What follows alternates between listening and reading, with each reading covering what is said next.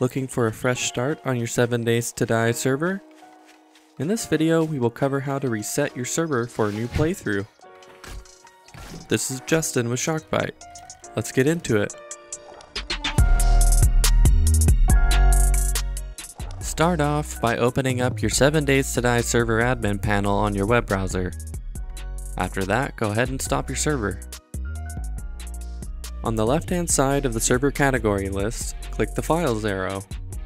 Now select FTP File Access which will prompt you to log in to your server files directory.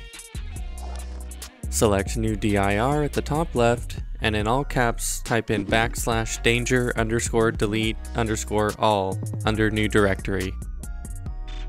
Open the saves folder, seed folder name, which in this case is Navezgane, then check the box of the world folder and select move.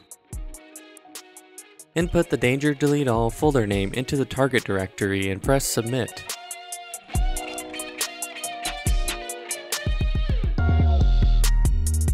If you wish to delete the whitelisted or blacklisted players, admins, and game rules, delete both the profiles and server admin files that are on the saves folder.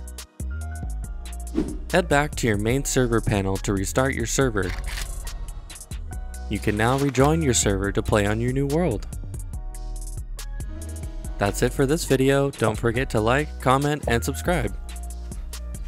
Keep it locked for more content like this.